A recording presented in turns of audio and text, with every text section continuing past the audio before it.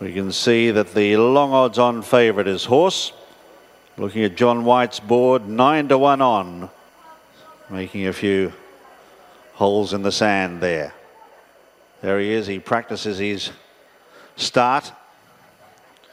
There'll be no such practice for Peopleton Brook. He knows the uh, procedure very well. The silver medalist is ready. Man v Horse.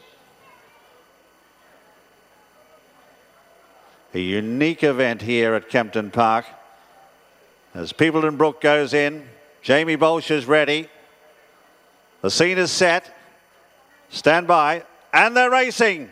And Jamie is about, oh, he's about 10 lengths in front here, but rocketing home Peopleton Brook and goes to the line in a canter.